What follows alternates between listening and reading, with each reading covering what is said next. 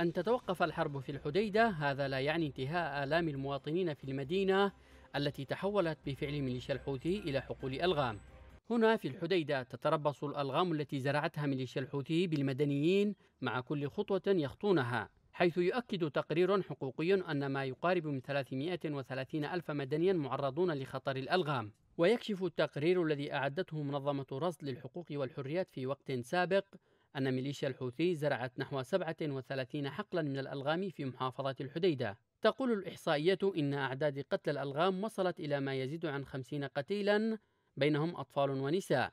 فيما أصيب العشرات وأجبر الآلاف على النزوح بعد أن حولت قراهم إلى أحياء خاصة بالألغام.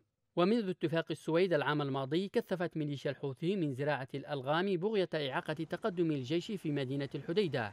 الأمر الذي حد من قدرة المواطنين على التحرك في مناطقهم بفعل حقول الألغام الحوثية التي تحاصر مساحات شاسعة على امتداد سواحل المحافظة.